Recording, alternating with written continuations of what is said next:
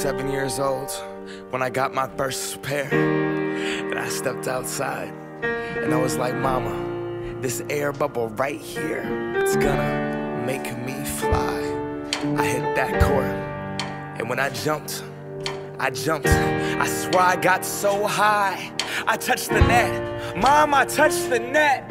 This is the best day of my life. Air Maxes were next. That air bubble, that mesh. The box, the smell, the stuffing, the tread at school. I was so cool. I knew that I couldn't crease them. My friends couldn't afford them. Four stripes on their Adidas. On the court, I was.